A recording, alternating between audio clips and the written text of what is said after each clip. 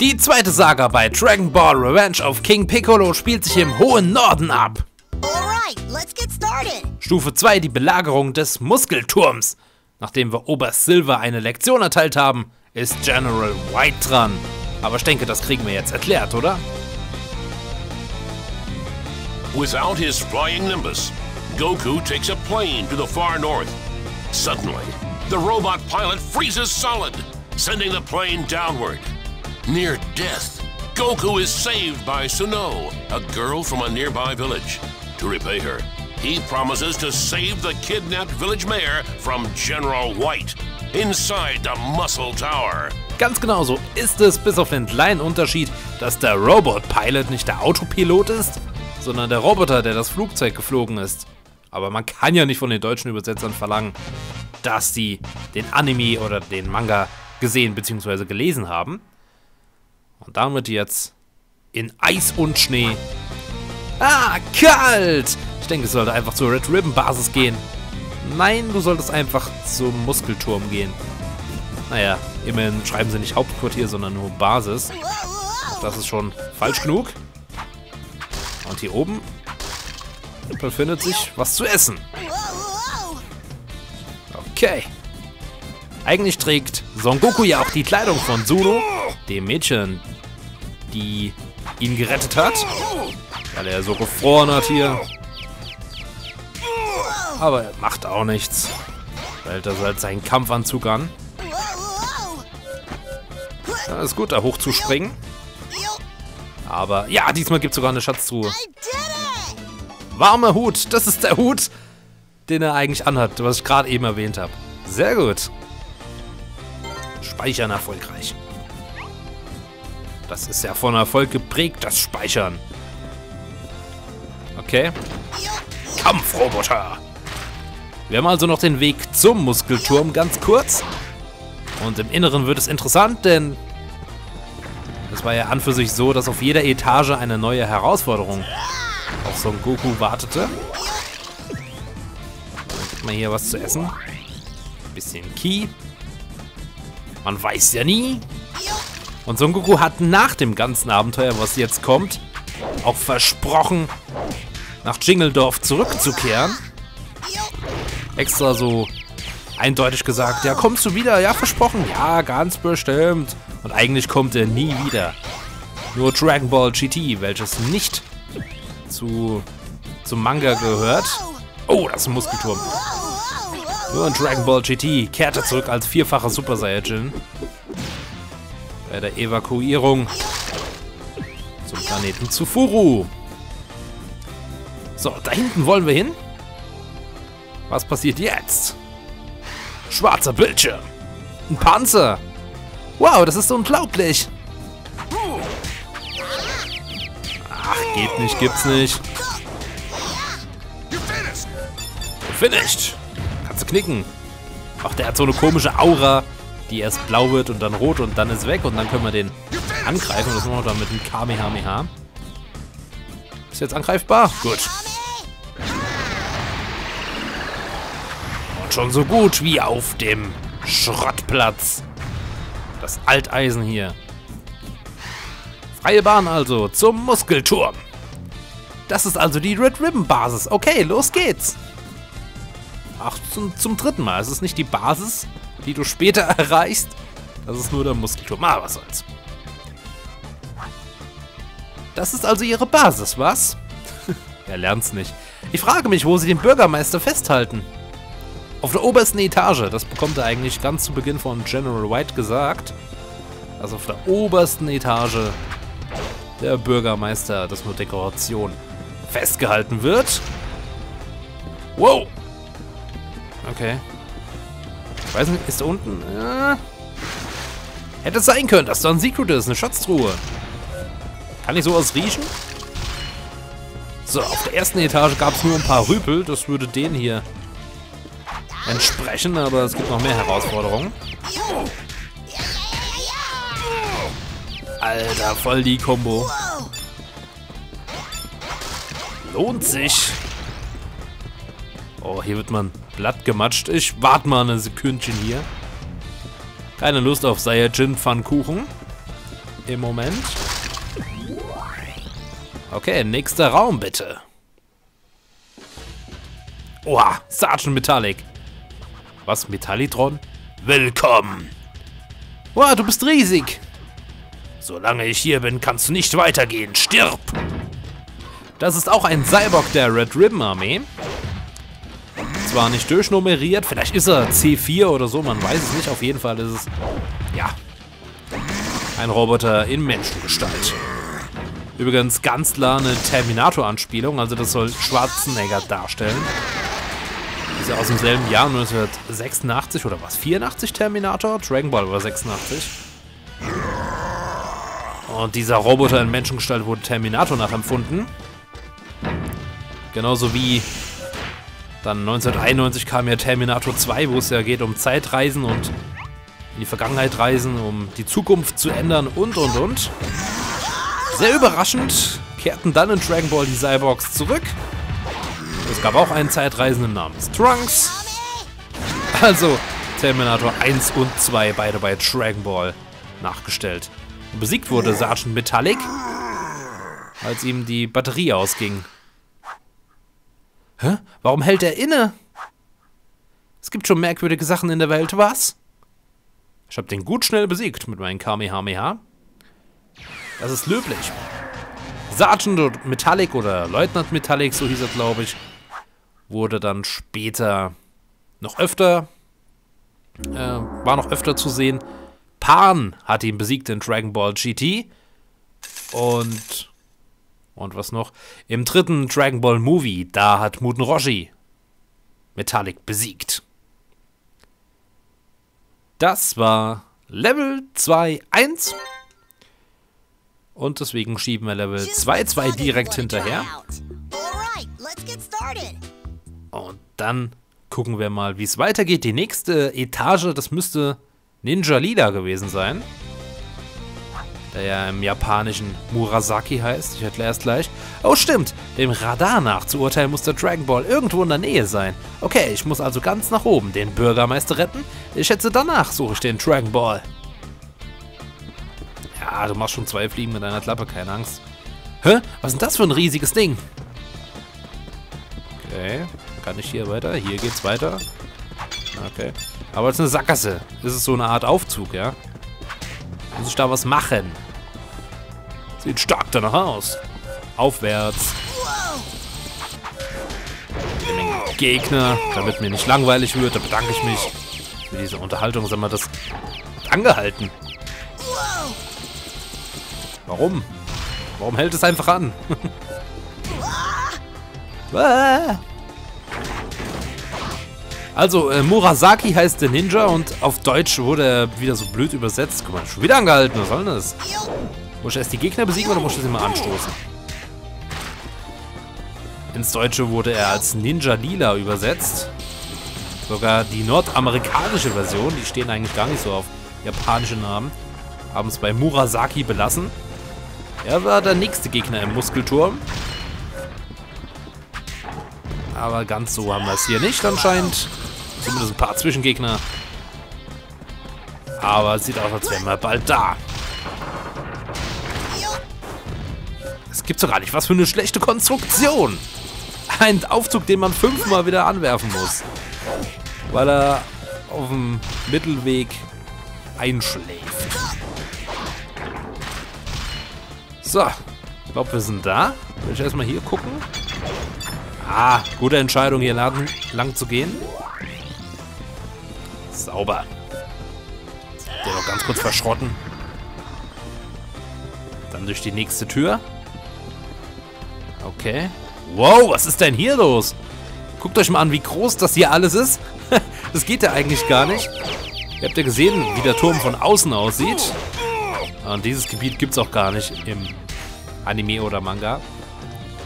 Oh, da ein bisschen eine Keule. Und noch mehr, die es zu verkloppen gilt.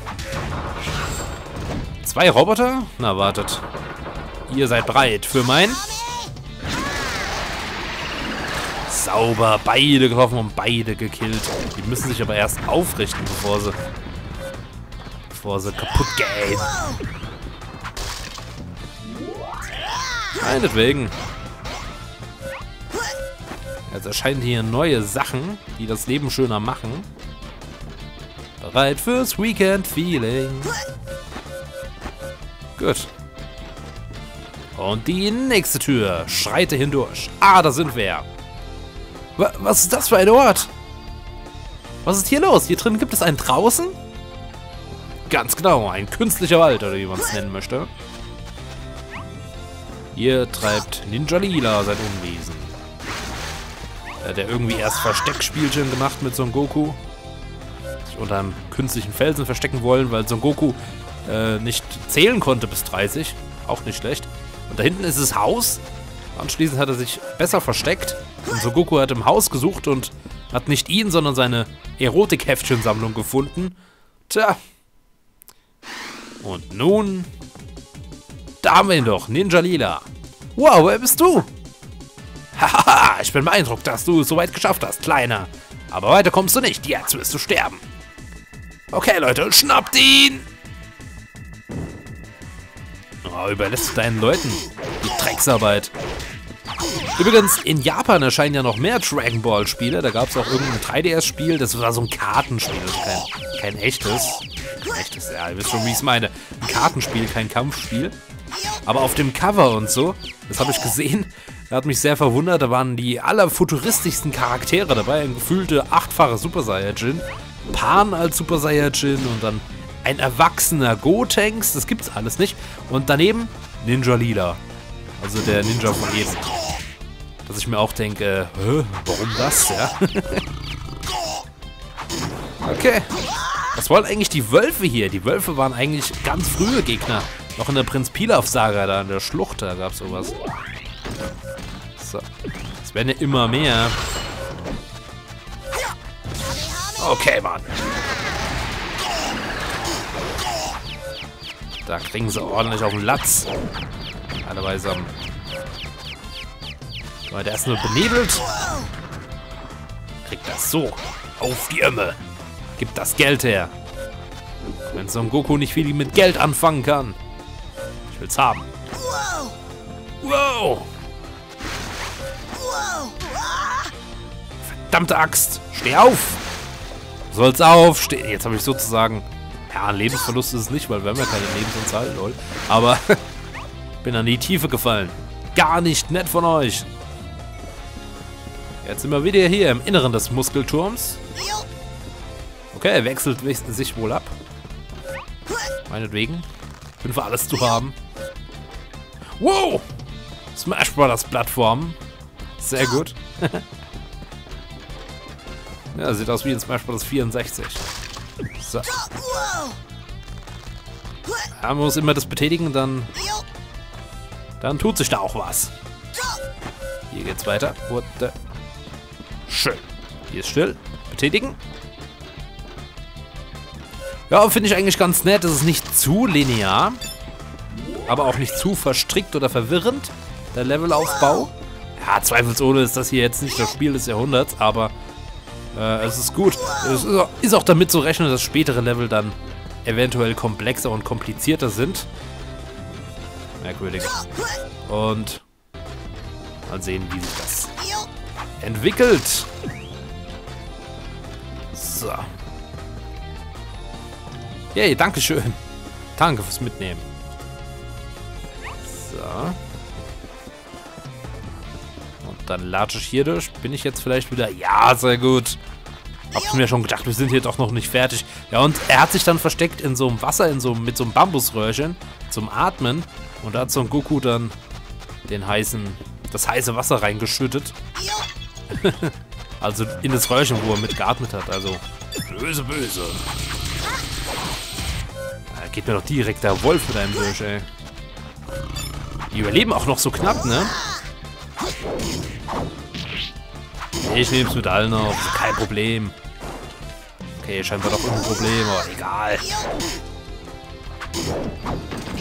Aber viel mehr als Button Smashen kann man auch nicht machen. Klar, kann man, aber... Bitteschön. Fünf auf einen Streich, also wenn das nichts ist. Und die explodieren. Nein! Doch nicht das Kamehameha, du sollst ja nur den nehmen. brauche eventuell mein Key noch. Du Dumpfbacke. Egal. Nehmen wir es ihm nicht übel. Vielleicht finden wir hier in diversen Kisten noch ein bisschen was zum Auffrischen. Wir müssen ja noch gegen Ninja Lila oder eben Murasaki selbst antreten. Zwischensequenz. Du bist dieser Kerl von vorhin? Ich bin kein geringerer als Murasaki, Meister Ninja. Du, wie kannst du es wagen, meine Ninjas zu vernichten? Du kommst hier nicht lebend raus. Als ob du mich töten könntest. Wow. Bin eingefroren. Das kann es nicht wahr. Kann, das kann ja nicht die Möglichkeit sein. Was hier drin? Nichts. Nichts ist da drin. Na, seht ihr, jetzt habe ich nicht genug Key für mehrere Kamehamehas. Ich heb's mir erstmal auf. Der hat ganz schöne Tricks auf Lager. Na, warte. Ja, flüchte.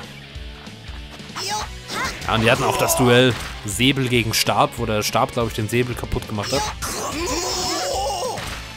So, wenn ich ihn so in die Ecke treib, kann er mir gar nichts. Jetzt passiert was. Er ist sogar ziemlich gut. Bei dieser Geschwindigkeit muss ich meine speziellen Ninja-Techniken einsetzen.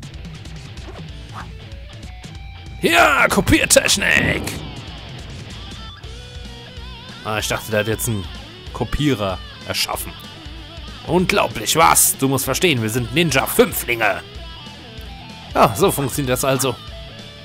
Kommt schon, Brüder, reißen wir ihn in Stücke. Okay, wenn ihr meint. Das sieht nicht so gesund aus. Das sind jetzt kleinere Gegner. Wir wissen ja von Tension dann später, dass so eine Vervielfachung ja auch eine Teilung der Kampfkraft zur Folge hat. Ja, die sind nicht so stark wie der, wie der Einzelne auf jeden Fall. Jetzt habe ich meine Kamehameha wieder voll. Aber der erste ist schon baden gegangen. Die sind hardcore drauf. Muss man denen lassen. Jetzt habe ich schon die Hälfte meiner Energie verloren. Gar nicht gut. Was ist denn jetzt mit dem Einzelnen? Kommt er danach nochmal oder zählt das als der Sieg jetzt? Bin noch vorsichtig.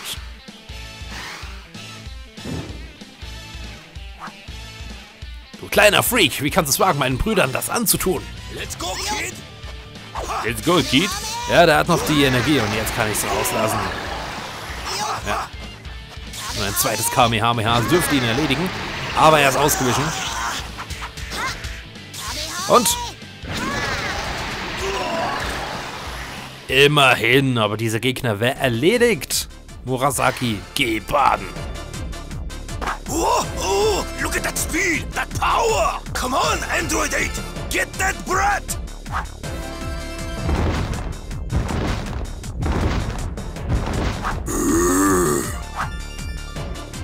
Now, get him! Pulverize him! Slice him to pieces! No. Oh,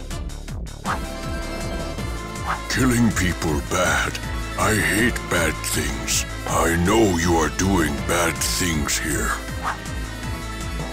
don't get snotty, you! The Red Ribbon Army gave you life! Alright, if you won't listen, then you might want to know there's a bomb in your body just for times like this. All I have to do is push this button and you'll go kaboom! Still, I cannot do bad things. what? Oh, how dare you! Huh? If that's what you want, then it's time to blow you up! Not if I can help it! Stupid kid, stay out of my way!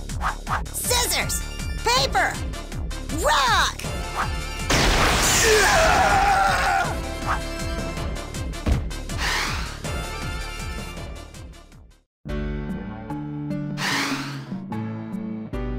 Thank you for saving me. I am happy. Your name? Me? I'm Goku.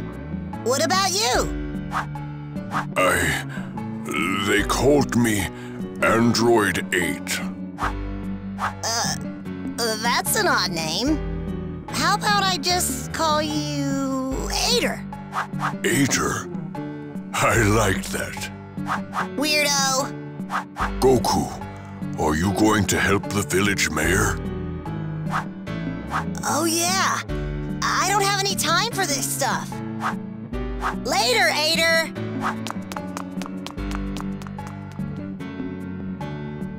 Ager, was it?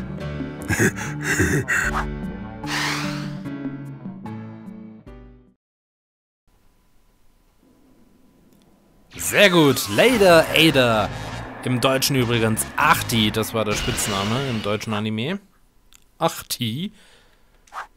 Cyborg Nummer 8. Ich werde ihn C8 nennen. Okay. Nur Rang B. Erschütternd. Aber das waren wieder zwei Missionen heute. Als nächstes im Muskelturm. Es kommt nicht mehr viel, aber es wird auf jeden Fall spannend. Können wir den Bürgermeister retten? Auf jeden Fall. Ich würde mal schätzen, das Finale des Muskelturms im nächsten Part. Nicht verpassen, Daumen hoch, dranbleiben und bis zum nächsten Mal. Bis dann und ciao.